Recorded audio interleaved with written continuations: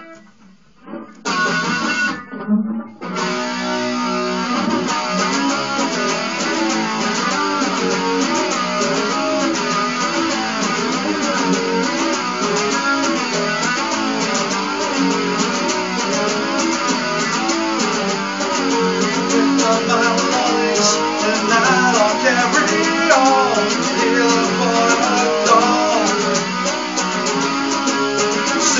On every wall.